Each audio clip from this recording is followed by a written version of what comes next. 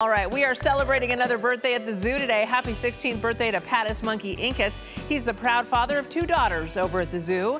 And did you know patas monkeys are the fastest primates on Earth?